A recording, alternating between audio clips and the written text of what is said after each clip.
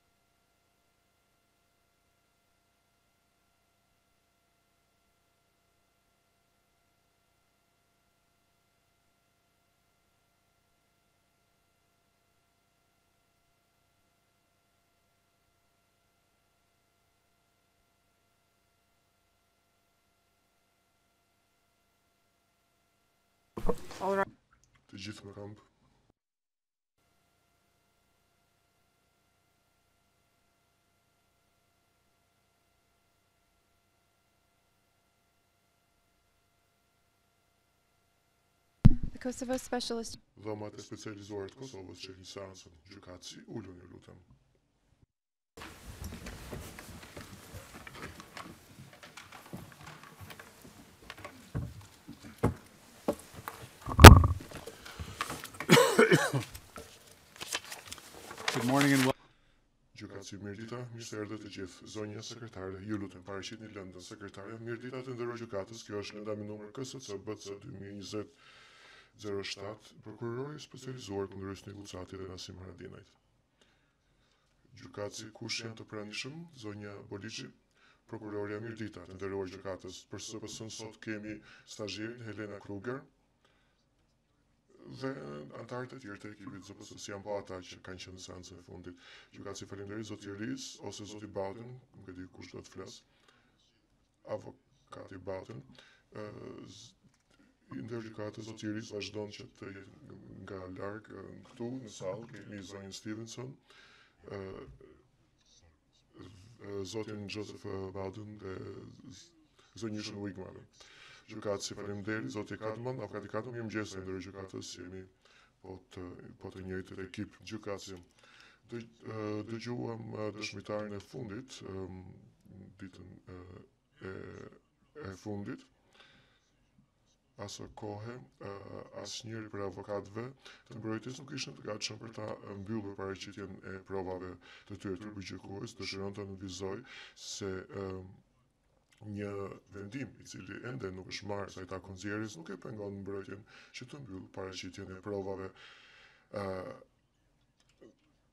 sepse nuk ka të bëjë më me thirrjen e dëshmitarëve të tjerë apo me prova të tjera shtesë. Kjo përputhet edhe me vendimin tonë të datës tetë nëntor dy mijë e njëzet e një për të lejuar mbrojtjen, a, më falni, për të për të lejuar që paraqitja e provave nga mbrojtja të ketë hapur çdo mundësi për të ardhmen.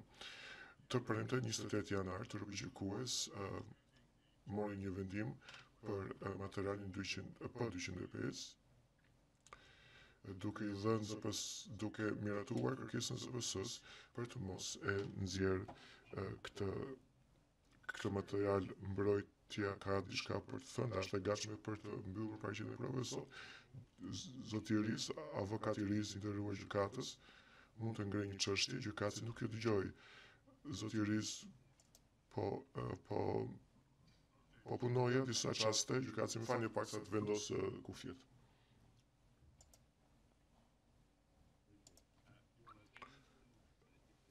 Avokati Ris, i nderuar gjykatës ka një çështje sa i takon vendimit F00541 Unë propozoj një mënyrë se si të vazhdojmë e cila mendoj se mund të na ndihmojë që të ecim më shpejt përpara. Unë kërkoj leje që të që ta apeloj atë vendim dhe ose një vendim për ta rish për të rishqyrtuar sipas rregullës 79. Në rastin e parë, dua të them diçka për afatin. E, jam në dijeni që rregulla um, 79 e rregullores në një shk i jep një shkallë të gjerë fleksibilitet trupit gjykues për afatet. Po kështu e di se sipas rregullës 752 ka një diskrecion të trupit gjykues për të lejuar parashtrime të bëra gojarisht Unë propozoj të nderuar gjykatës se mund të bëj tani një kërkesë gojarisht për leje për apelim të këtij vendimi mund ta bëj shumë shpejt tani.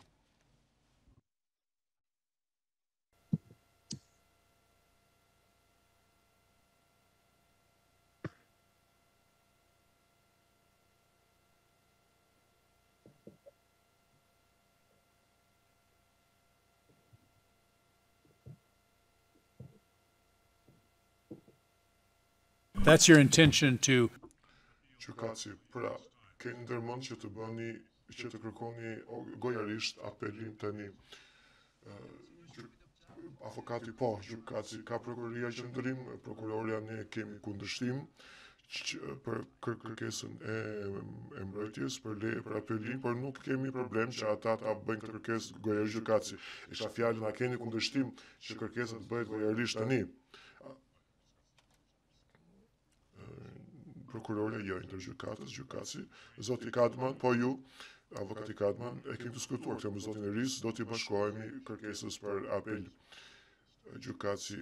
Ka prokuroria ndonjë a ka problem që të përgjigjet tani, prokurorja do të dëshironim që të dëgjonim cilat janë argumentet e mbrojtjes, të cilat, për cilat nuk kemi njoftuar, Po besoj se nuk e kemi problem që të përgjigjemi në këtë moment, por duam t'i dëgjojmë ato fillimisht gjykatësi në rregull. Përpara se të parashtroni mocionin gojarisht, a ka gjë tjetër që doni për të ju duhet ta keni vendosur avokati jo. Gjykatësi vazhdoni. Avokati Riz. I nderuar gjykatës, kërkojmë leje për apelim për dy çështje. Çështja e parë, a ka gabuar trupi gjykues në refuzimin e nxjerrjes për mbrojtjen të materialit i cili sipas pikëpamjes së mbrojtjes dëshmonte aspekte të cilat ishin në kundërshtim me parashtrimet e mbrojtjes për shtytjen në kryerjen e krimit. Çështja e dytë, në mungesë të nxjerrjes, trupi A ka gabuar trupi gjykues në arritjen e përfundimeve nga ky material i cili ishte kundërshtues me parashtrimet e mbrojtjes sa i takon shtytjes në kryerjen e krimit. Të dy çështjet kanë të bëjnë me paragrafin 20 të parashtrimit të protokoll të vani të vendimit me numër F00541 pra në kuadër të kontekstit, si mbrojtja e zotit Gucati, ashtu edhe ajo e zotit Haradinaj e ka ngritur mundësinë se materiali 205 mund të jetë në gjendje që të dëshmojë moskryerjen nga ana e ZPS-së të hapave hetimorë adekuatë. Theksi vendoset tek fjala mundet, sepse siç është pranuar si nga mbrojtja e Gucatit ashtu dhe nga ajo e Haradinajt dhe madje edhe nga trupi gjykues, ne sigurisht nuk e kemi parë materialin dyqind e pesë apo përmbajtjen e këtij materiali. Ne thjesht i kemi sjellë në vëmendje të trupit gjykues mundësinë se ky material mund të jetë në gjendje që të dëshmojë mosmarrjen, mosbërjen, më falni, të hapave hetimorë adekuatë nga ana e ZPS-së. Në paragrafin 20 që në fillim të këtij paragrafi trupi gjykues vëren se materiali 205 nuk përmban asnjë informacion apo provë që do të sugjeronte ndonjë mangësi nga ana e ZPS-së, të dukshme, pra. Paragrafi 20 megjithatë nuk nuk mbaron me kaq, por vijon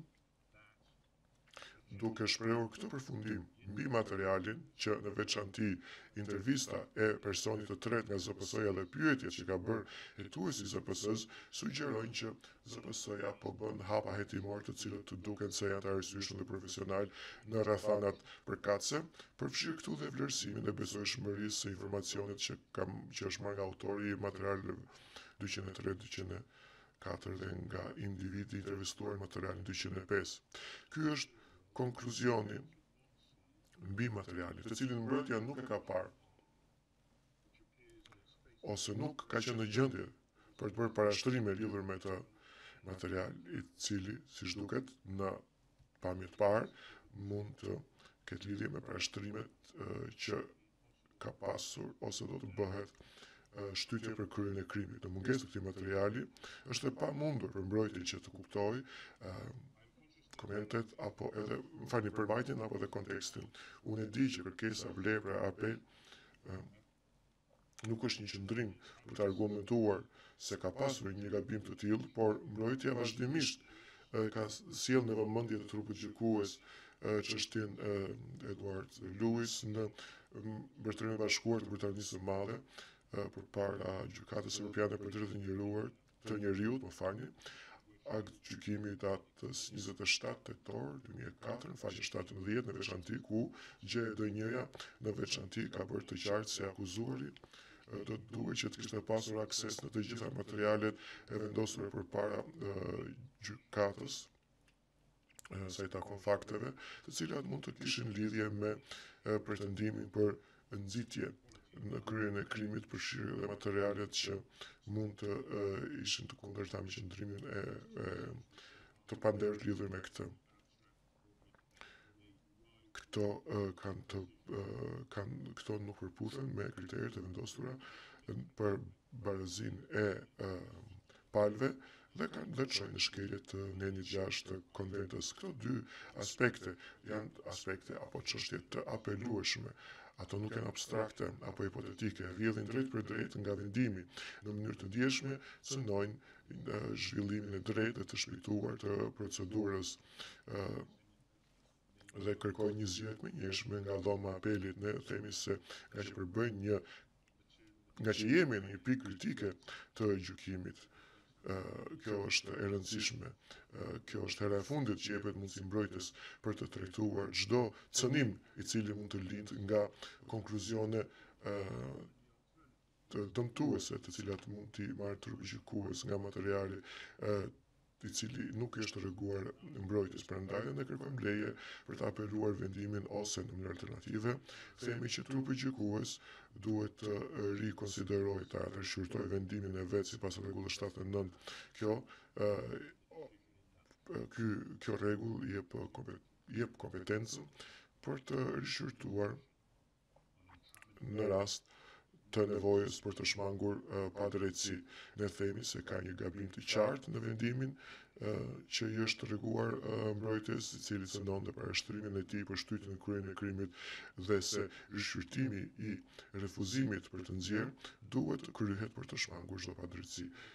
të këtij përfundimi që për t'i dhënë mundësinë mbrojtjes që të ketë mundësinë ta kundërshtojë apo ta trajtojë në këtë kontekst gjykatësi faleminderit zoti Kadman avokati Kadman ne si mbrojtje e zotit Haradinaj i bashkohemi këtyre parashtrimeve nuk kemi gjë tjetër për të shtuar gjykatësi faleminderit do t'i bëj edhe një pyetje tjetër mbrojtjes veç kësaj çështjeje që ende mbetet që të marrë zgjidhje. Asnjë prej ekipeve të mbrojtjes nuk ka dëshmitar tjetër për të thirrur kështu. Avokati Kadman, kjo është e saktë i nderuar gjykatës, avokati Ris, kjo është e saktë i nderuar gjykatës. Gjykatësi, pra në varësi të vendimit që do të marrim, të cilin do ta marrim me shkrim ose sot më vonë gjatë ditës ose nesër do t'ju kërkohet që ta mbyllni paraqitjen e provave zyrtarisht siç ju thashë në varësi të mënyrës se si do të jetë ky vendim u kuptua avokatët njëkohësisht patjetër i nderuar gjykatës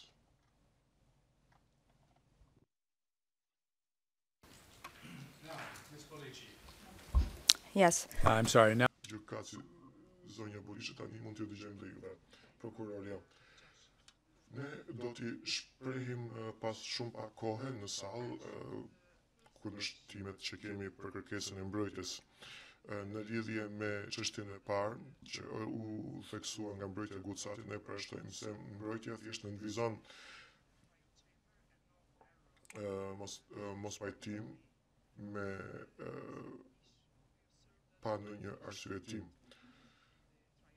sa i takon këtij gabimi, sa i takon çështjes së dytë, ne vërejmë se çështja nuk del nga vendimi i trupit gjykues mbrojtja e Gucatit, në fakt kundërshton kornizën ligjore që mbulon këtë gjykatë, duke dhe nuk argumenton në argumentimet e veta, madje nuk tregon se kjo material nxjerrja e cili është kundërshtuar,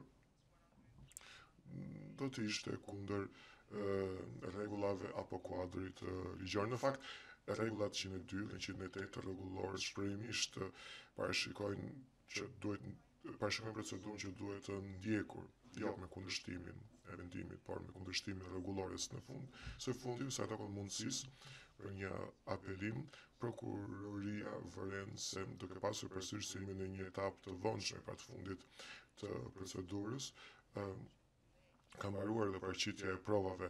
Një apel i ndërmjetëm në këtë rast, në këtë etapë, nuk do ta çonte përpara, por përkundrazi do ta vononte ndjeshëm ecjen përpara të kësaj procedure. Dhe ZPS-ja ka mbrojtur gjithmonë idenë që ky proces gjyqësor duhet të mbyllet sa më shpejt gjykatësi faleminderit ne do ta shqyrtojmë kërkesën për certifikim për leje pra plotësisht që e cila është parashtruar gojarisht dhe do të marrim një vendim. Do të vazhdojmë edhe me parashtrime të tjera që do bëhen sot, duke ditur që kjo kërkesë për certifikim e kemi këtë kërkesë për certifikim e kemi marrë tashmë. Trupi gjykues do të dëgjojë parashtrime seç do për hapat në vijim kemi vendosur disa pyetje në uh, agjendën e protokolluar në shkurt që është me numër F527 parashtrimet me shkrim janë marrë nga të dy ekipet e mbrojtjes, kështu që do të marrim me radhë pyetjet përkatëse. Do të fillojmë me faktet për të cilat palët pajtohen. Trupi gjykues vëren se mbrojtja e zotit Haradinaj ka bërë të ditur në parashtrimet me shkrim se është dakord me 13 faktet paraprake për cilën ka rënë dakord mbrojtja e Gucatit me ZPS-në në fazë në procedurën paraprake. Zoti Kadman do thotë që se ju nuk jeni dakord, pra nuk pajtoheni me faktin tjetër për cilën ka rënë dakord mbrojtja e Gucatit me ZPS-në dhe që është riprodhuar dhe në mocionin për pranimin e provave jashtë pa marrë dëshmitarët në pyetje, avokati i nderuar gjykatës mund të ketë një një farë pështjellimi siç kuptova unë, a neve na u kërkua nëse pajtohemi për të gjitha faktet që ekipi i Gucatit ka rënë dakord me prokurorin gjykatësi s'ka mikrofon. Avokati, po.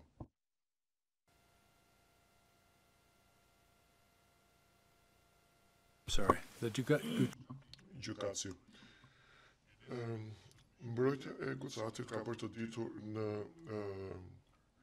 parashtrimin e vet se është dakord, pra se pajtohet me tre fakte për të për cilat është pajtuar ekipi i mbrojtjes së Haradinajt me ZPS-në gjatë procedurës paraprake. Të dyja ekipet e mbrojtjes tregojnë se faktet për të cilat pajtohen mund të bëhen publike dhe s'ka fakte të tjera për cilat janë pajtuar. Trupi gjykues ju falënderon për parashtrimet. Zonja Bolici a mund keni gjë për të shtuar në veçanti lidhur me parashtrimet sa i takon klasifikimit të një fakti shtesë për cilën është pajtuar mbrojtja Gucati me ZPS-në. prokuroria mund të jetë publik dhe nuk kemi gjë tjetër për të ngritur në këtë moment. Gjykatësi: në rregull. I mbajtëm shënim.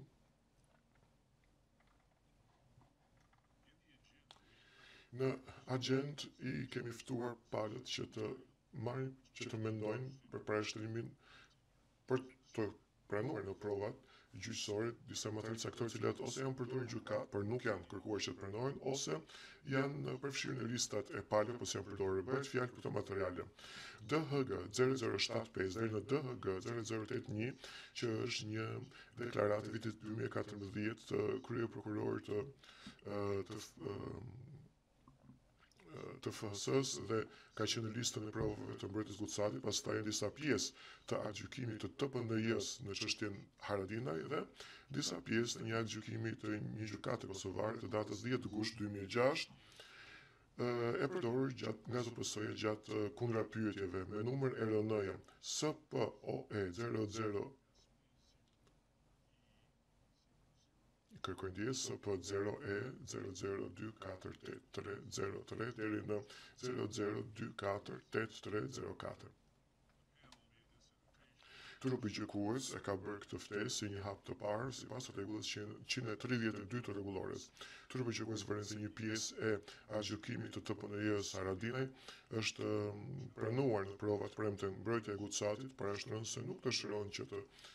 kërkoj për për pranimin në provat gjyqësore të deklaratës së kryeprokurorit dhe se kundërshton pranimin e aktgjykimit të Gjykatës së Kosovës. Mbrojtja e Haradinajt parashtron se nuk parashikon që të uh, prezantojë prova të tjera dhe nuk kërkon që të pranohen në provë gjyqësore asnjë prej këtyre materialeve. Ka zero, po, se në një mendim prokuroria ne i kemi përcjellë mbrojtjes që më 21 janar 2022 të gatishmërinë për t'i pasur të gjitha këto materiale të pranuara në prova gjyqësore. S'kemi dëgjuar asnjë mendim për tyre deri të premten. Ne mbajmë të njëjtin qëndrim sa i takon aktgjykimit që është lexuar në gjykatë. ZPS-ja mban qëndrimin se ato pjesë të atij aktgjykimi janë në procesverbal. it is necessary to confirm that the dhe nëse pranimi i aktgjykimit në provat gjyqësore është i nevojshëm për të konfirmuar se po këto pjesë të aktgjykimit janë cituar saktë dhe se ekziston vetë vërtet ky aktgjykim, atëherë ky aktgjykim do duhej që të pranohej në prova gjyqësore. Faleminderit gjykatës. Zoti Riz, keni diçka për të shtuar avokati Riz. Sa i takon të fund, gjësë së fundit që tha zonja Bolici se për pjesët e aktgjykimit nga SPOE 00248303 deri në 00248304. Sigurisht, pyetjet e zonjës Bolici nuk ka nuk janë prova. E vetmja provë aty vjen nga ato pjesë të cilat janë përgjigjet e dëshmitarit. Ne nuk kërkojmë parashtrim të deklaratës së kryeprokurorit të dy mijë e katërmbëdhjetës, nuk e kemi përdorur ose nuk e kemi kërkuar që të pranohet në provë gjyqësore përmes asnjë dëshmitari në në paragrafin 6 të aktgjykimit të Haradinaj, sa i takon pra paragrafi 6 i aktgjykimit të Haradinaj datës 3 prill 2008 është pranuar tashmë nga të nderuar gjykatës përmes një urdhri të dhënë gojarisht të premten. Vetëm një ekzaminim i kujdesshëm i asaj pjese ka të bëjë me fjalinë e parë. Pra, në fakt, kjo është një koment që ka të bëjë një specifike me ata individë të cilët kanë dhënë dëshmi në çështjen e numër 05 2005. Falni 95 85 2005 pjesa tjetër që mbetet e këtij pasazhi lexuar nga zonja Bolici ishte thjesht një riciklim të themi i një citimi nga një tjetër çështje gjyqësore e të PN-jes me numër IT zero tre gjashtë tre te mbrojtja, pra nuk ka pasur mundësi që të që të prapësojë në një për në një pjesë të saj deklaratën nëse ka qenë apo jo e saktë etj sa i takon 2005-2006. Kjo nuk mund të themi që mund të jetë provuese për eh, frikësim të dëshmitarëve. Gjykatësi, faleminderit zoti Ris, eh, zoti Kano do shtoni gjë avokati jo. Gjykatësi. Të tjerët kanë gjë jo. Mirë, faleminderit trupi gjykues do të vend do të marrë vendim në momentin e duhur sa i takon ushtrimit të ehm, tagrit të vet sipas rregullit 132 dhe proprio motu i pranon këto materiale në eh, provat pra vënë në dispozicion nga palët. Vazhdojmë me temën tjetër. Trupi gjykues vëren se ZPS-ja ka treguar të premten se me shumë gjasë nuk do të kërkojë që të uh, marrë leje për të parashtuar kundër prova. Kështu është, prokurorja po, i nderuar gjykatës, gjykatësi. Faleminderit, duke qenë se ZPS-ja nuk synon që të uh, paraqesë kundër prova, atëherë nuk ka nevojë të diskutojmë as për leje për mbrojtjen për të paraqitur kundër prova. Kalojmë tani tek dosjet gjyqësore përfundimtare. Në konferencën përgatitore të mbrojtjes, të gjitha palët bënë të ditur një vlerësim paraprak trejavor nga mbyllja e paraqitjes së provave për të protokolluar dosjet gjyqësore përfundimtare. në parashtimet me shkrim të dy ekipet e mbrojtjes e kanë rishikuar këtë vlerësim dhe kërkojnë 30 ditë nga mbyllja e paraqitjes së provave. Trupi gjykues vëren se 30 ditë është afati maksimal që parashikon rregulla 134 shkronja B. Mbrojtja parashtron se rishikon vlerësimin për shkak të provave të konsiderueshme shtesë të ekspertëve që janë dëgjuar nga trupi gjykues për shkak të vendimit të panelit të gjykatës së apelit. Në këtë aspekt, trupi gjykues ka dy gjëra për të thënë së pari, pro, dëshmitë e ekspertëve janë të dëgjuar janë thirrur nga mbrojtja. Prandaj dhe bien brenda objektit të ekspertizës së dëshmitarëve, së dyti, vërejmë se vlerësimi që ka dhënë mbrojtja është bërë në konferencën përgatitore të mbrojtjes përpara për, përmbledhjes së vendimit në fjalë të zotit të ri. Megjithatë duke, duke pasur këtë parasysh, do donim të dëgjonim nga mbrojtja çfarë ka pasur kaq të papritur në dëshminë e ekspertëve që e kanë ndryshuar kaq shumë vlerësimin e tyre. Zoti Ris, avokati së pari, i nderuar gjykatës, parashtrimet Nuk është që të kërkonim 30 ditë për protokollimin e dosjes gjyqësore përfundimtare pas mbylljes së paraqitjes së provave. Ne kemi kërkuar një periudhë më të gjatë sesa 21 ditë, deri në 30 ditë.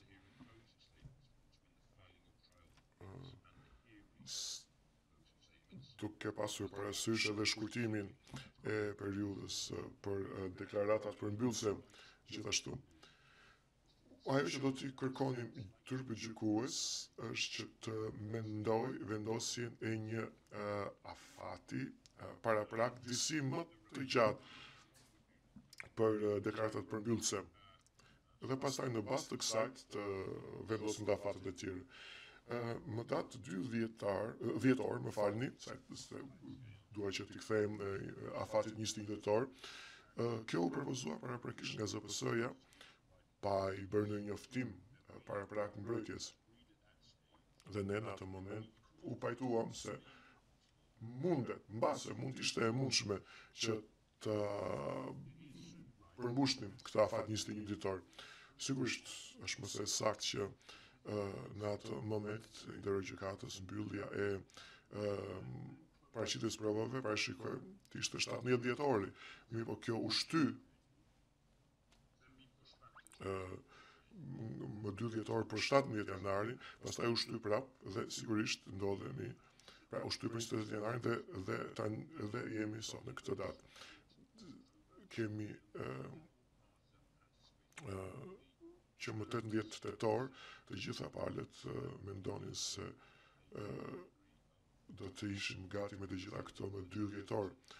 Kjo sigurisht sepse mos harrojmë që kërkon një shkallë të madhe që të rilexojmë transkriptet, të bëjmë analizat përkatëse dhe të vëmë në punë dhe kujtesën tonë. Parashtrojmë se në rrethanat përkatëse është më se e përshtatshme një afat paksa më i gjatë se 21 ditët të cilat u propozuan në dy dhjetor. Nderuar gjykatës Ju, siç jeni në dijeni nga parashtrimet tona, ne kemi kërkuar për një datë të re paraprake për deklaratat përmbyllëse që të jetë 14 marsi. Kjo nuk është një zgjatje e konsiderueshme e, e datës së mëparshme të synuar, që ishte data 1 mars. Ne parashtrojmë se Nëse çështjet do të zgjateshin me një periudhë dyjavore, kjo do të ishte proporcionale, do të ishte e arsyeshme dhe do të jepte mundësi, do të jepte një kohë shtesë për të pasur kohë edhe për dosjen gjyqësore përfundimtare dhe për të përgatitur deklaratat përmbyllëse për t'u përgjigjur asaj që do të vendosë në dosjen gjyqësore përfundimtare prokuroria. Gjykatësi, do t'ju bëj një pyetje juve tani zoti Ris, do të bëj pyetjen edhe zotit Kadman edhe prokurorisë më vonë. Që nga dita e fundit e shkurtit deri në datë 14 mars, A jeni ju disponibël për të gjithë periudhën nëse ne caktojmë një datë, çfarëdo aty? Avokati Ris, do të kontrolloj një moment, ju lutem. Gjykatësi në rregull, edhe ju zoti Kadman mund të bëni të njëjtin verifikim. Avokati Ris, kam një angazhim tjetër profesional në javën që fillon më datë 7, i nderuar gjykatës.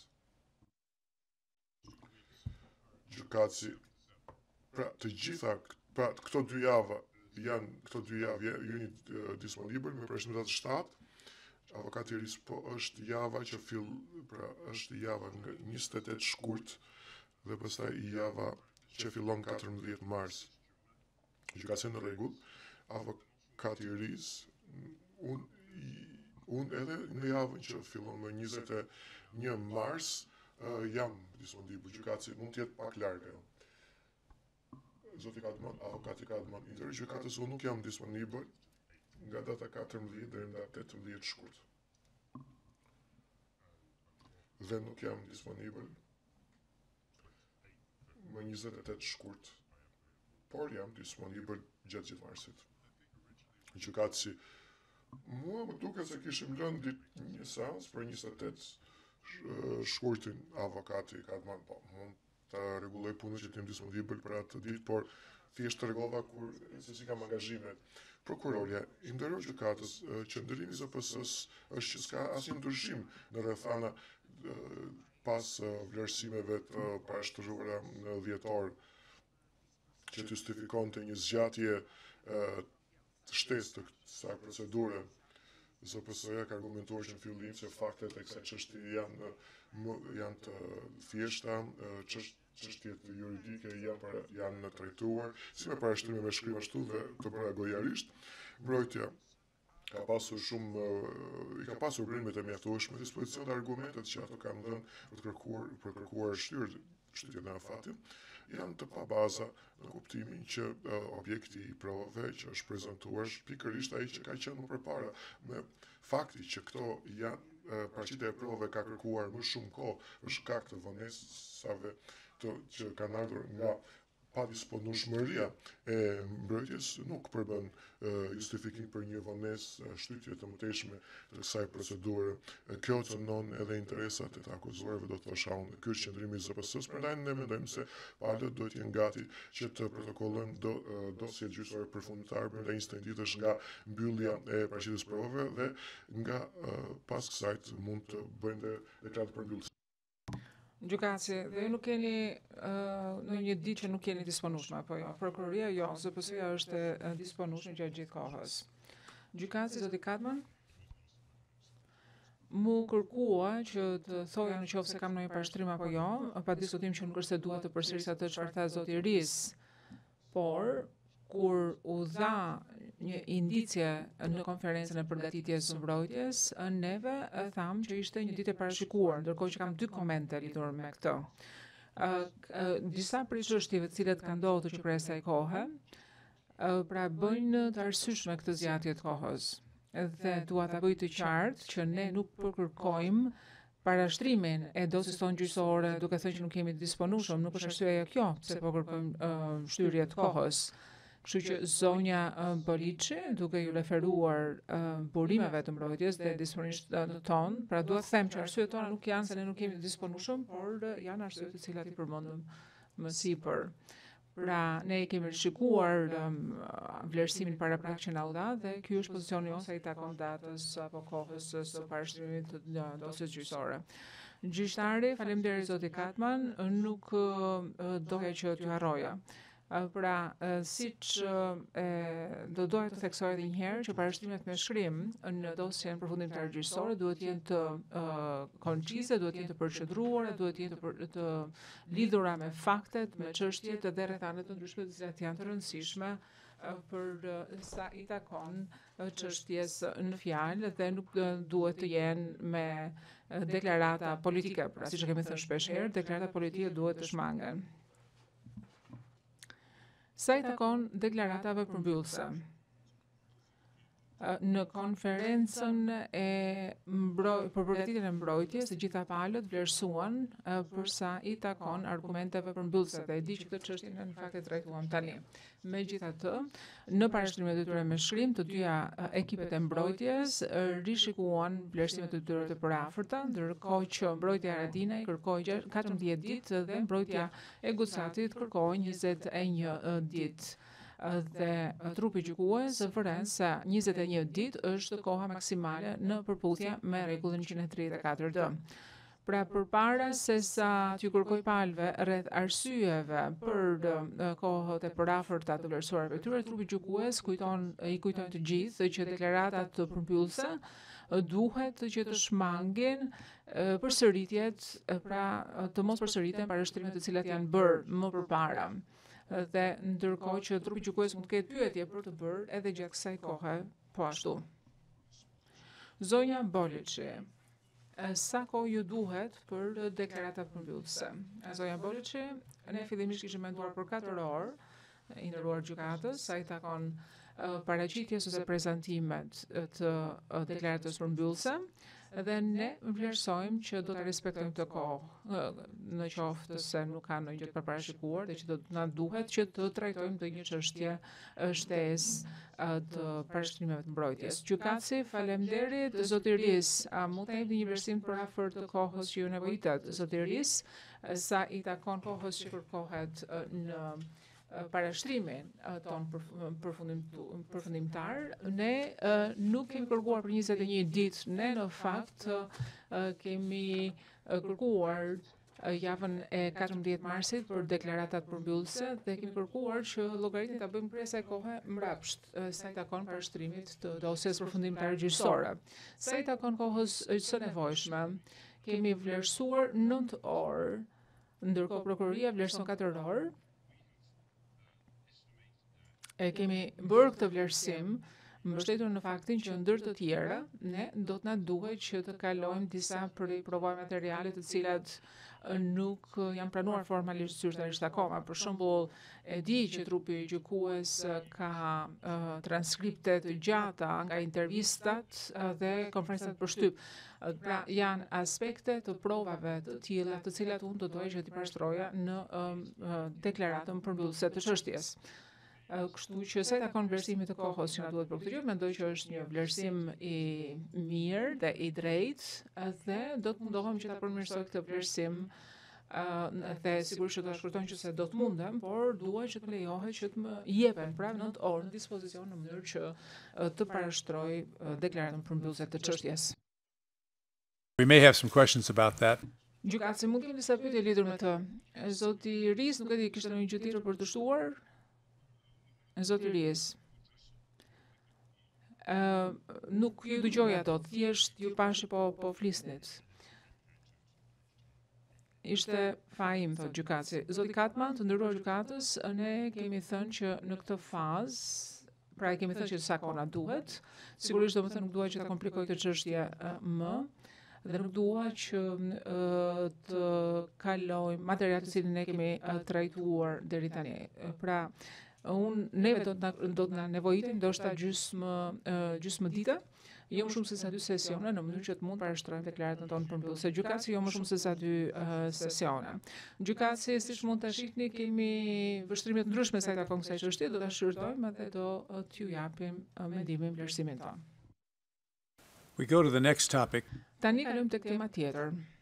Në pajtim me paragrafin 6 të paragrafit 159 në qoftë se uh, trupi gjykues um, e gjen të akuzuarin fajtor për një ose më shumë vepra penale, trupi gjykues përcakton dënimin e duhur për të akuzuarin që shqiptohet në vendimin e gjykimit, përveçse nëse uh, Të ketë dëgjuar palët, trupi gjykues vendos të procedojë në përputhje me rregullën 162. Dhe kjo është e drejtë e trupit gjykues. Duke ditur që një vendim i tillë ka ndikim mbi përmbajtjen e dosjes përfundimtare gjyqësore, dhe të deklaratave përfundimtare, gjykata trupi gjykues vlerëson të përshtatshme që të marrë parashtrimet nga palët në këtë pikë. Trupi gjykues vëren se mbrojtja e Gucatit parashtroi se paneli duhet që të vijojë më tej me ndarjen e lëndës, me procedurën e ndarjes së lëndës, dhe vlerëson që i akuzuari e ka kaluar kohën e nevojshme në burg deri në në deklarimin ose në shqiptimin e gjykat e gjykimit në fjalë. Në këtë pikë, zoti Riz,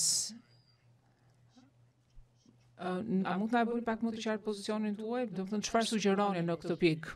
Zoti Riz, parashtrimi që bëj unë, ose ftesa që bëj për um, trupin gjykues, është që pa cenuar parashtrimet e mia, uh, pra unë mendoj që Zoti Gucati nuk është fajtor për asnjë prej veprave për të cilat ai uh, uh, akuzohet.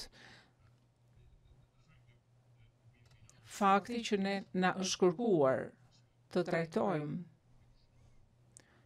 mundësinë e dënimit për një ose më tepër vepra penale, pjesërisht demonstron, ose të paktën kështu e kuptojmë neve, pra tani ne jemi jo në pozicion të favorshëm që të trajtojmë dënimin dhe për këtë arsye, neve po mendojmë për të bërë parashtrime për lehtësimin përpara sesa të jepet gjykimi. Megjithatë, kjo nuk është e vetmja bazë. Unë do doja t'i kërkoja gjithashtu trupit gjykues që ta shqyrtonte me kujdes këtë parashtrim. Baza kryesore jonë është që qasja e ndarjes së lëndës, siç e keni përshkruar ju të nderuar gjykatës, duhet që të përqafohet. Po ashtu, unë mendoj që nuk ka asnjë rrethanë në të cilën trupi gjykues mund të ushtrojë të drejtën e tij për të marrë me vend, për të marrë vendimin menjëherë. Edhe unë kam propozuar një skenar të mundshëm kur kjo mund të jetë e përshtatshme. Një tjetër skenar mund të ishte kur uh, kemi të bëjmë me një vepër penale, domethënë me një akuzë të vetme, në një moment të tillë mund të të parashikohet se me çfarë po merret mbrojtja sa i takon kësaj baze të vetme përgjegjshmërie dhe një pike të vetme në këtë akuzë. Megjithatë ne nuk kemi një situatë të tillë pra Zoti Gucati ka një aktakuzë që përmban 6 pika, Dhe siç e keni vërejtur më parë të nderuar gjykatës, ka shumë baza të shumëfishta alternative përgjegjshmërie të cilat janë parashtruar nga prokuroria. Sa i takon veprave penale vetë, vepra të cilat rjedhin nga kodi Penal i Kosovës, sa i takon fushëveprimit të, të saktë të këtyre veprave të ndryshme do duhet të përcaktuar ende dhe do duhet që të ketë parashtrime të detajuara të hollësishme sa i takon um, përbërësve ligjorë thelbësorë të secilës prej këtyre veprave dhe në vlerësimin tonë do duhet që të përcaktohen ende dhe do duhet që të vlerësohen nga trupi gjykues. Ne nuk do të marrim vendimin e, e, e trupit gjykues sa i takon fushëveprimit së secilës prej këtyre veprave. Dhe në këtë aspekt ka pasiguri ashtu siç edhe sa i takon dhe disa pikave si dhe numrit alternativ të bazave të përgjegjësisë së pretenduara. Ne parashtrojmë që nuk është as praktike dhe as e drejtë për të akuzuarit, të paktën në këtë çështje, nuk nuk e kemi fjalën për të gjitha çështjet, kështu që nuk është e drejtë që të kërkohet që të të të parashtrojmë pra një reflektim të detajuar për secilën prej bazave ose secilën prej uh, pikave të cilat janë të parashikuara uh, në aktakuzë. Ne thjesht ngremë skenarin alternativ në, par në paragrafin 24 të parashtrimeve tona, paragrafin 24 të parashtrimeve tona, mbi bazën se kur trupi gjykues Pra kur të dëgjojë deklaratat përmbyllëse, është drejt fundit të, të procesit gjyqësor dhe në qo, në, në këtë pikë është në pozitën për të gjykuar në qoftë se personi ose i akuzuari është fajtor apo jo. Dhe ndërkohë i akuzuari ose të akuzuarit janë në paraburgim dhe ata kanë shërbyer për një kohë të kanë qenë të mbajtur në paraburgim për një periudhë të, të, të gjatë. Sigurisht ne nuk është se kemi jemi në pozitë, domethënë nuk është se duam që të kundërshtojmë vendimin e gjykatit, e gjykatës të trupit gjykues, por nga ana tjetër mendojmë që në këtë situatë koha kur i akuzuari do të mbahet i paraburgosur do të mund të të, të, të zgjatet më tepër. Megjithatë, e gjithë kjo që unë thashë është një situatë hipotetike. E kemi ngritur këtë situatë hipotetike sepse ne jemi ftuar që të shqyrtojmë se si mund të trajtojmë një situatë hipotetike, siç është situata aktualisht. Pasi Zoti Gucati mund të të shpallet fajtor për një ose më shumë pika të aktakuzës. Parashtrimi parësor i yni është që për shkak se çështja e zotit Gucati ose aktakuza ndaj zotit Gucati ka të bëjë me me 6 pika, dhe ka të bëjë me baza të ndryshme të shumëfishta përgjegjësie, ne e përgjegjësie ne kërkojmë trupin gjykues që të mbështetet në rregullin 162 dhe 164. Kjo është baza e parashtrimit tonë. Gjykatësi faleminderit zoti Kadman, ndonjë gjë për të shtuar zoti Kadman, jam plotësisht dakord me atë çfarë tha zoti Riz. Gjykatësi faleminderit zonja Boliçi. Boliçi prokuroria vlerëson që në pajtim me rregullin 159.6 Përcaktimi i dënimit të caktuar është rregulli ndërkohë që procedura e ndarjes së lëndës është përjashtimi. Në parashtrimin tonë, mbrojtja nuk është se ka dhënë rrethana specifike të cilat do të justifikonin ndarjen e lëndës. Duke pasur parasysh që kemi të bëjmë me disa pika ose pika të shumëfishta dhe mënyra të shumta përgjegjësie është diçka e cila duhet të pritet mbështetur në proces, procese penale përpara gjykatave kombëtare. Faktet e kësaj çështje janë uh, të drejtpërdrejta e të thjeshta, kështu që në këtë kuadër procedura e ndarjes së lëndës nuk është e nevojshme. Një çështje që dëshiron të sjellë në vëmendjen tuaj prokuroria është që në kuadër të procedurës së dënimit, ZPS-ja synon që të parashtrojë relevancën apo rëndësinë e shënimeve zyrtare sa i takon dëshmitarëve, të cilat janë deklaruara të papranueshme për pjesën e gjykimit, sepse janë vlerësuar që vijnë nën rregullin 153 dhe 155. ZPS-ja vlerëson që 161 njëshi i rregullores, pra kjo rregull i lejon palët që të parashtrojnë në kohën e dënimit, material apo informacion tjetër të rëndësishëm që i ndihmon palët për të përcaktuar dënimin e përshtatshëm, ndërkohë që parimi i oralitetit është i ndryshëm sa i takon kohës së ndryshme që mund të jemi në procedurë mbi bazën e parashikimeve të rregullit 166-62-4 që parashikon që vendimi duhet të bëhet përmes procedurës me shkrim në qoftë se nuk parashikohet ndryshe. Arsyeja e vetme sepse prokuroria shqyrton që ndoshta ndarja e lëndës do të ishte e, e nevojshme në këtë rast ishte në qoftë se trupi gjykues nuk do të ishte i gatshëm që të dëgjonte parashtrimet e këtyre materialeve së bashku me aktgjykimin. Në këtë rast atëherë ishte justifikuar procedura për ndarjen e lëndës. Faleminderit. Gjykatësi: faleminderit zonja Boliçi. Ndonjë tjetër nga paneli lidhur me këtë pikë? Gjykatësi Metro? Gjykatësi Metro: faleminderit Gjykatësi Smith. Zoti Ris dhe pastaj t'i drejtohem zotit Kadman, kam dy çështje që dua që t'i sqaroni. Çështja e parë ka të bëjë me kohëzgjatjen e parashtrimeve të propozuara gojore. Ju kërkuat për 6 orë që të bëni parashtrimet përfundimtare të, të mbrojtjes dhe u tha që një prej arsyeve kryesore pse kërkoni kaq kohë është që doni që të jepni shpjegime për disa çështje të cilat nuk janë shqyrtuar gjerësisht sa duhet gjatë procesit gjyqësor. Dua që t'ju them në qoftë se gjëra të tilla nuk janë dhënë me shkrim në parashtrimet me shkrim, domethënë nuk e di në qoftë se ka ndonjë arsye sepse këtë informacion nuk e keni shtjelluar, nuk e keni parashtruar në seancat me gojë, a ka pasur ndonjë gjë që ju ka parandaluar, nuk ju ka lejuar, ndoshta pjesërisht që ju të jepni parashtrimet tuaja gjatë procesit gjyqësor? Your Honour, we will, of course. Zoti Ris, të nderuar gjykatës, sigurisht ne do të përpiqemi që parashtrimet me shkrim t'i mbajmë sa më koncize të jetë e mundur, po ashtu edhe uh, parashtrimet uh, me gojë, po aq koncize sa të jetë e mundur. Megjithatë, ka një vlerë për t'i bërë parashtrimet me, me gojë. dhe është parimi i oralitetit. Kështu që do të dëshiroja që në prezantimin e deklaratës përmbyllëse të përfitoja nga ky parim.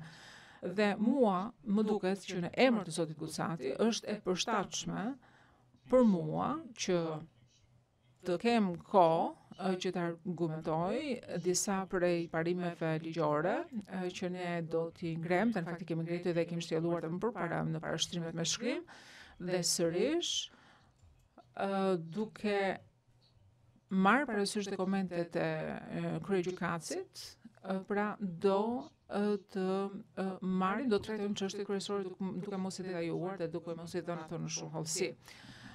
Por, megjithatë,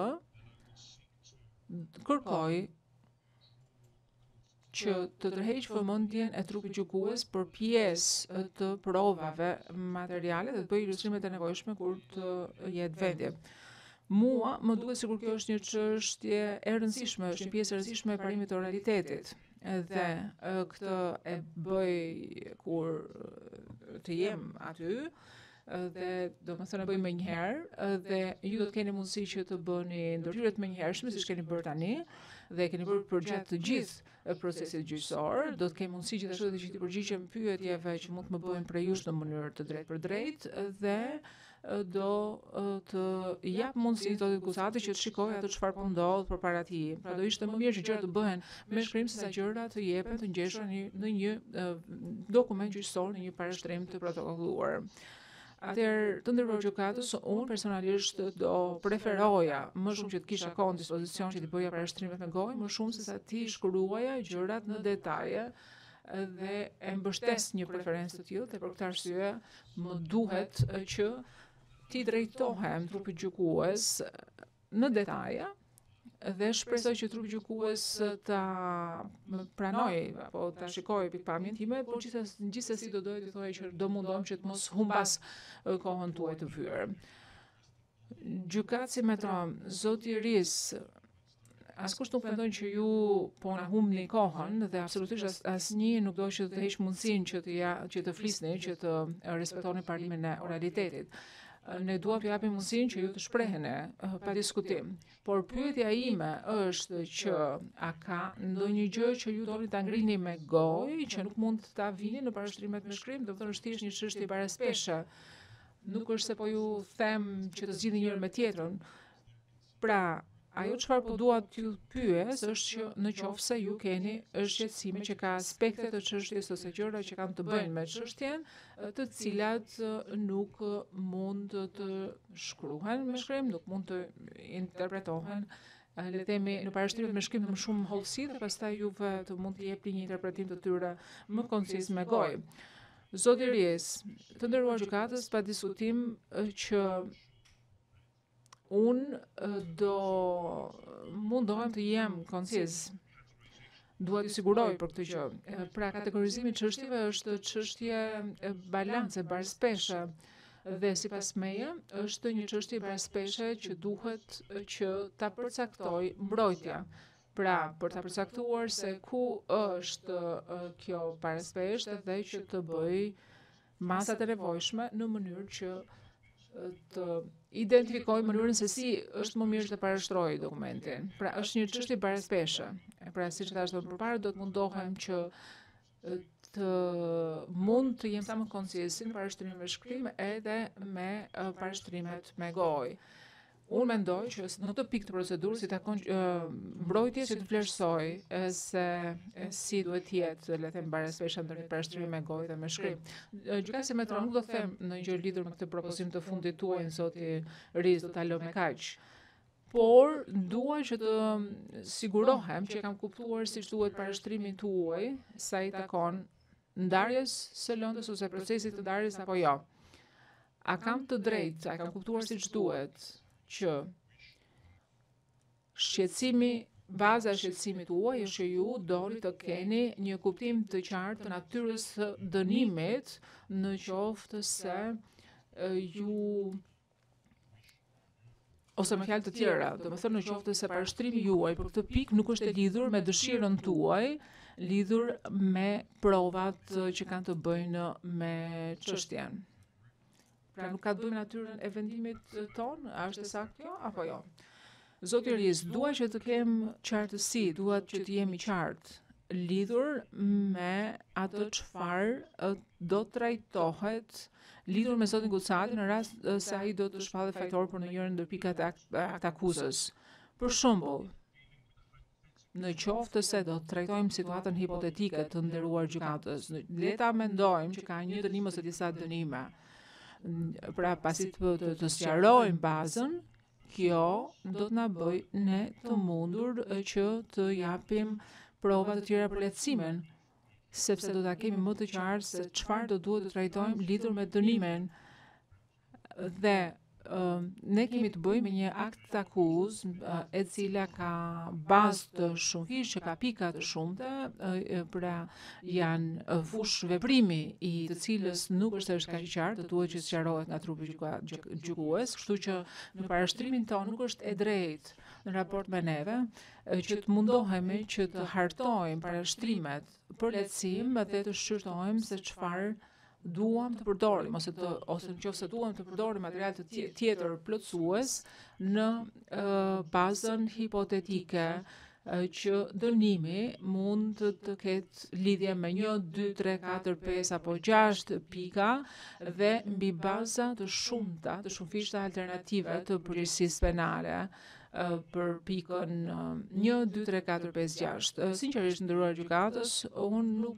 ku mund ta parashikoj se si mund të trajtoj çështje të tilla gjatë pjesës së lehtësimit. Pra, po flasim për të mund të jetë shumë e thjeshtë ta bërë këtë gjë, por çështja është ne kaq dimë dhe nuk kemi një skenar të tillë ku mund të parashikojmë shumë në këtë çështje. Pra, me fjalë të tjera, i nderuar gjykatës, ju po kërkoni në qoftë se um, unë mund të, të parashikoja që në qoftë se do të kem mundësi për të kërkuar lehtësim të dënimit ose trajtimit të, të të akuzuarit, por nga ana tjetër unë mund t'ju them në përgjigje që unë nuk mund t'ju them absolutisht asnjë gjë sepse nuk e di se si mund të trajtohet kjo çështje sepse është e paparashikueshme se çfarë mund të vendoset prej jush, i nderuar gjykatës.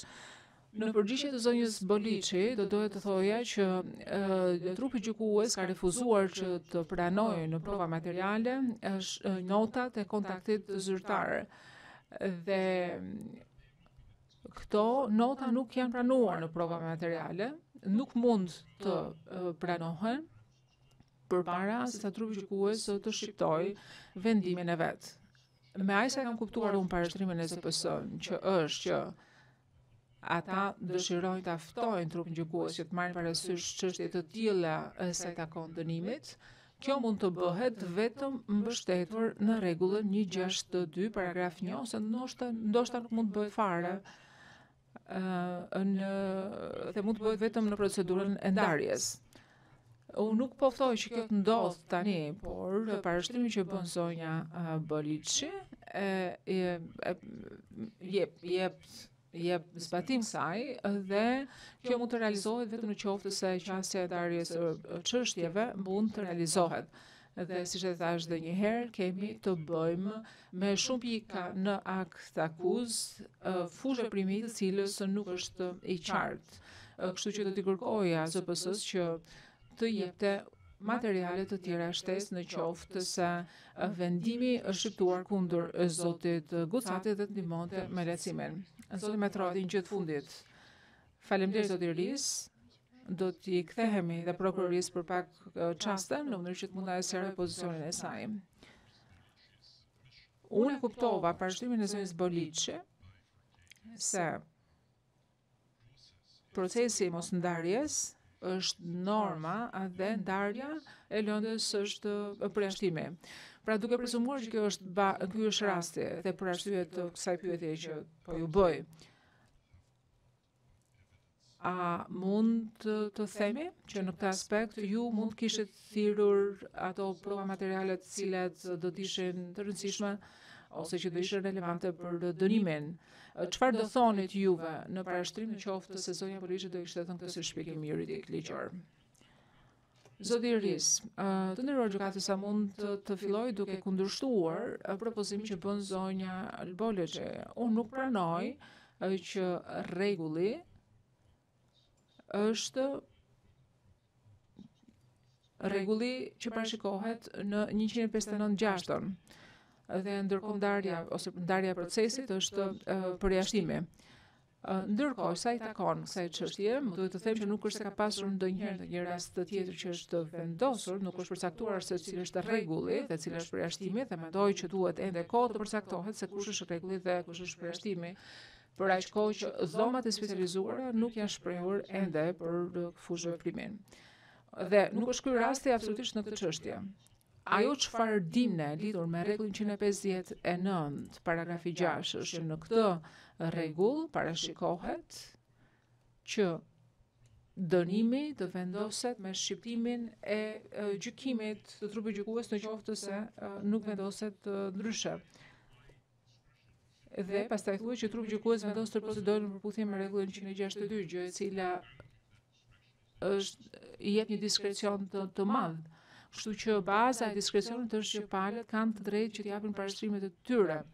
Pra, me fjalë të tjera, paragrafi 159, para, paragrafi 6 i rregullit 159, ofron një fushë të gjerë veprimi trupit gjykues në mënyrë që të mund të ta shpallë fajtor ose të shqip, shqiptojë fajësinë e të akuzuarit ose ta vendosë një gjë të tillë më vonë. Ndërkohë që sa i takon asaj çfarë pyetët ju i nderuar gjykues, në qoftë se gjithë materiali relevant është dhënë, përgjigja për këtë është që unë nuk e di, sepse në këtë fazë të procedimit unë ende nuk e di në qoftë se zoti Gucati do të shpallet fajtor për një ose më shumë vepra dhe mbi çfarë bazash. Në këtë fazë unë nuk e di se cila është përbërja thelbësore e veprave penale që do të përcaktohen të vendosen nga trupi gjykues. Ky nuk është një koncept i pazakont dhe për për për, për qëllimet e fajësisë dhe pafajësisë së të akuzuarit, dhe sa i takon gjithashtu edhe materialit që është i rëndësishëm për çështjen, për shembull në lidhje me rrethanat personale, të cilat mund të jenë rrethana lehtësuese dhe të cilat nuk kanë të bëjnë me shqiptimin fajtor apo jo të të akuzuarit dhe që nuk janë parashtruar gjatë procesit gjyqësor. Pra, nuk e pranoj propozimin e parashtruar nga zonja Bolici dhe së dyti nuk mund t'ju them të nderuar gjykatës që gjithë çështjet e rëndësishme që do donim që t'ia u parashtronim trupit gjykues për dënimin, pra nuk janë bërë gjatë gjykimit. Pra me fjalë të tjera, kjo është mënyra se si funksionon procesi gjyqësor i lehtësimit. Gjykatësi Mettraux: faleminderit, zoti Kadman, përpara se t'i drejtohem prokurorisë, Kadman, jo, zoti Ris, i mbuloi përkatësisht të gjitha pikat që unë do të Paraqitja e vetmja që që mund të shtoj lidhur me mbrojtjen e Zotit Haradinaj, lidhur me ekuilibrin midis parashtrimeve gojore dhe me shkrim, duke pas parasysh kohën që ka kërkuar Zoti Ris, sigurisht ne do të përpiqemi që të jemi sa më të përmbledhur në Parashtrimet tona me shkrim dhe ato me gojë do të jenë një përmbledhje atyre që kemi paraqitur me shkrim. Dhe këto do t'i mbajmë në minimum, pra, me kusht që zoti Ris t'i jepet koha që ka kërkuar, mbase unë mund ta shkurtoj kohën që kam kërkuar nga gjysmë dite në një seancë, por gjithçka varet nga paraqitja e mbrojtjes së Gucatit, të cilën në këtë fazë unë nuk e parashikoj dot. Faleminderit zoti Boliçi, keni diçka për të thënë lidhur me parashtrimet e zotit Ris për çështjen në fjalë? diçka që duhet ta them që nuk e pata të qartë dhe me sa duket dhe zoti Ris nuk e ka të qartë, Nëse ju planifikoni apo propozoni të mbështeteni në materiale që nuk janë paraqitur si prova materiale për qëllimet e dënimit apo ndër, e kemi keqkuptuar. Boliçi, po, lidhur me dënimin, qëndrimi ynë është që palët mund të përdorin materiale të papranuara ende që nuk janë në fakt paraqitur për pranim dhe nuk janë pranuar, dhe kjo bazohet në rregullin 162. Një minutë sa ta gjej. Bazohet në rregullin 162.1 që i lejon palët të paraqisin informacione përkatëse që i ndihmon uh, palët të përcaktojnë, panelin të përcaktojë dënimin e duhur. Pra, pra qëndrimi ynë është se në kuadrin e një procedure të ndarë, palët lejohen të paraqisin parashtrimet e tyre për dënimin, lidhur me materiale, informacion të ndryshëm nga ato që janë paraqitur si prova materiale. Një minutë, gjykatësi Metro, nëse ju kuptoj drejt, dhe mbase dhe Kjo ndihmon dhe zotin Ris, nëse do të vendosnim të ndiqnim një proces jo të ndarë, atëherë do të kërkohej që të kërkoni të bëni një kërkesë ju për dokumente shtesë të pranuara duke përfshirë ato që ne nuk pranuam t'i pranojmë Refuzuam t'i pranojmë si pjesë e çështjes. Këtë doni të thoni? Bolici, nuk do të bënim kërkesë për pranimin e këtyre materialeve në si prova materiale, thjesht një parashtrim informacioni simbas rregullës 161. Pra, rrethana të cilat mund të përdoren vetëm për qëllimet e dënimit. Në këtë rast nuk ka nevojë që të kthehet të të paraqiten si prova, të pranohen si prova. Vetëm për këtë qëllim do të kërkonim të përdornim informacione të tjera nga ato që janë pranuar si prova. Gjykatësi Mettraux, pra ju pranoni një faktorin rëndues nëse ju do ta paraqisnit, po të kishte, po të bëhet fjalë për dënim, duhet të provoni standardin e, pro, e të vërtetës përtej dyshimit të arsyeshëm. E pranoni këtë? Po, e pranojmë, po natyra ligjore që ka të bëjë me informacionin e përdorur vetëm për qëllimet e dënimit. Në këtë kuadër, rregullin 162.1, si edhe Procedura e theksuar në rregullin njëqind e gjashtëdhjetë e dy katër që thotë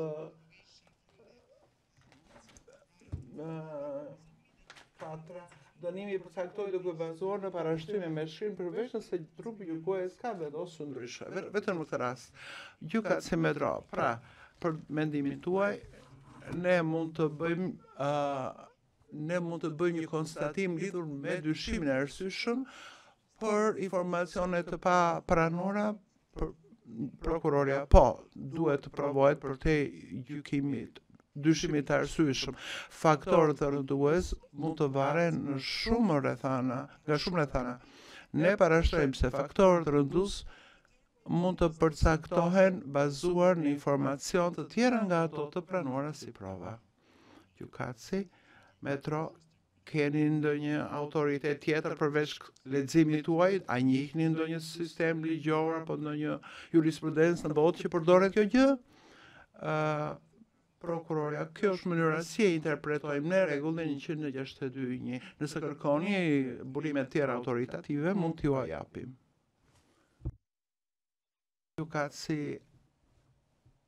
Smith, një minutë zoti Rees, kërkoj që të merrni parasysh faktin që ka një farë dallimi midis një dokumenti që nuk është pranuar dhe një dokumenti që është për të cilën është vendosur që është i papranueshëm nga gjykata. Kjo është një nga gjërat me të cilat po përpiqemi të të gjejmë zgjidhje. Ju propozoni diçka që nuk është paraqitur nga një person, por pranohet nga një dokument që dikush tjetër e ka hartuar. Dhe ky ka qenë problemi me të vërtetën e çështjes, prandaj nuk u pranua pikë së pari. Kështu që kjo vlen dhe për rastin e çështjen e dënimit. Prandaj dhe ne nuk e kemi shumë të qartë, se doni të bëni parashtrim mund ta bëni. Boliçi. Parashtrimi bazohet thjesht në rregullën 162.1. dhe mundësia e përdorimit të informatave të tjera. Për shembull, gjykat mbrojtja e, e Gucatit ka përdorur e, të tjera parashtrime, neve, pra ato kanë marrë parasysh faktorët personal, me rëndësi për përcaktimin e dënimit, i cili mund të ndikojë në trupin gjykues në përcaktimin e dënimit të duhur. Prandaj, neve themi që dokumentet nuk janë pranuar nëpërmjet mocioneve nga tavolina, janë informacione që mund të ketë ndikim në në dënimin. Në këtë rast ne themi që duhet marrë parasysh një informacion i tillë. Zoti Ris, keni ndonjë koment për të bërë? Po, zonja Boliçi thotë që ajo përdor rregullin e 162. Një. Për mua është shumë e qartë se rregulli 162.1 nuk zbatohet kur shqiptohet dënimi në bazë të rregullit 100 e pesëdhjetë e nëntë gjashtë, ky e thotë shprehimisht, ai zbatohet vetëm kur trupi gjykues vendos të veprojë në bazë të rregullës njëqind e gjashtëdhjetë e dy dhe njëqind e gjashtëdhjetë e katër. Gjykatësi falemnderit. Më falni, thotë, Gjykatësi Genier ka një pyetje, faleminderit shumë, Gjykatësi Smith, zonja Boliçi, dua t'i kthehem përsërish kuptimit të shprehjes, Çdo informatë me rëndësi që mund të ndihmojë trupin gjykues për të dhënë dënimin e duhur, që është pjesë e rregullës 162 që ju iu referuat. Nëse, nëse jepet një dënim, trupi gjykues do të ishte interesuar të dëgjonte prova që kanë lidhje me faktorë zbutës, lehtësues, të cilët përcaktohen në bazë të probabilitetit apo të faktorëve rëndues të cilët vërteto, duhen vërtetuar përtej dyshimit të arsyshëm. E pranoni se mund të ketë një qasje disi të ndryshme midis mbrojtjes dhe prokurorisë. Mbrojtja mund të dojë të parashtrojë parashtrime me shkrim që jo patjetër uh, që mbështeten kryesisht në rregullat 153, 154 dhe 154. Ndërsa prokuroria, nëse do të vendosi të vërtetojë standarde të rënduesve, duhet të zbatojë një tjetër standard Pra, pajtoheni me mua që kjo do të ishte një inter... ky do të ishte një interpretim i arsyshëm i formulimit çdo informacion me rëndësi që mund ta ndihmonte trupin gjykues parashikuar në rregullin 162 prokuroria jo nuk pajtohemi me këtë qëndrim në këtë fazë duke marrë parasysh se nuk ka se rregullin 162 nuk bën ndonjë dallim në këtë drejtim Dhe ne nuk i referojmë, nuk u referohemi rrethanave rënduese, por faktorëve rëndues që do të rrethanave të cilat duhen marrë parasysh për të vlerësuar dënimin që do të ishte i përshtatshëm në rrethanat konkrete, jo si pjesë e elementeve të krimeve të cilat duhen provuar përtej dyshimit. të arsyshëm, por si elemente që duhen marrë parasysh për vlerësimin e marrjes së vendimit të duhur. Gjykatësi, po a nuk duhen dhe faktorët rëndues të provohen përtej dyshimit të arsyshëm, nuk e pranoni këtë? Po, lidhje në lidhje me informacionin që lidhet me dënimin, që ka rëndësi për dënimin, Provat nuk duhen marrë bazuar në të njëjtat kufizime që zbatohen në lidhje me rregullin njëqind e tridhjetë e nëntë, lidhur me dëshmitë, provat e pranuara për qëllimet e vërtetimit të fajësisë apo pafajësisë së të akuzuarit. Gjykatësi nuk kam pyetje të tjera. Gjykatësi Smith, kjo ishte, ky ishte gjithë programi për sot. E ka, jam, e kam në rregull apo kemi diçka tjetër? Faleminderit shumë për sinqeritetin, për bashkëpunimin, për parashtrimet. Do të bëjmë çmos që të lëshojmë një urdhër sa më shpejt që të jetë e mundur. Faleminderit që iu përgjigjët dhe kërkesës për miratim dhe e bëtë këtë punë sa më shpejt. Tani ndër, e ndërpresim sot punën, këtu mbarojmë për sot. Pra do të dëgjoni nga ne me shkrim, të gjithë në këmbë.